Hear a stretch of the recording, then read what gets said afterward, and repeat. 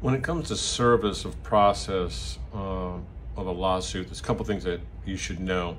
This will cover 95, 98% of all service. And there's some confusion and some myths about service. Number one, personal service. That's where they give it to you. And that can be done anywhere. They can personally serve you at Walmart, on the street. Uh, it doesn't have to be your home, doesn't have to be at work.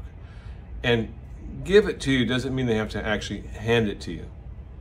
Uh, if they drop it in your presence, you've been served. So if you answer the door but refuse to take the document, they can drop it at the threshold and you've been served. And that's personal service. The next thing about which there's a lot of confusion is substitute service. And as the name implies, um, they can serve a substitute in certain situations. First, they have to try to serve you personally. They have to make several efforts to do that. They have to fill out a declaration of due diligence to the court that says that they tried to serve you personally. They have to identify the time and the location that they tried to do that. So they'll fill out an affidavit that says they went to your house or your work uh, at these dates and times and they were unsuccessful in serving you. Either no one answered the door or someone answered the door and it wasn't you. After they do that, as long as they've gone to your home or work, they then can give it to the substitute.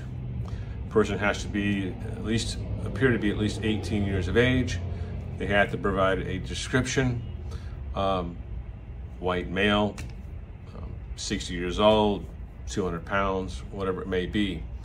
And then they must also mail it to you and you actually have 40 days from the date that they mail it to you. If they do that, that is valid service.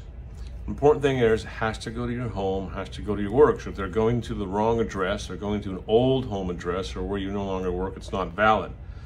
However, the court won't know it's not valid unless you tell them. So you can't, on any of these services, just assume it wasn't done correctly. You have to tell the court it wasn't done correctly. The court will assume that the service of process was accurate unless you tell them it's not. Again, that covers about 95% of all service.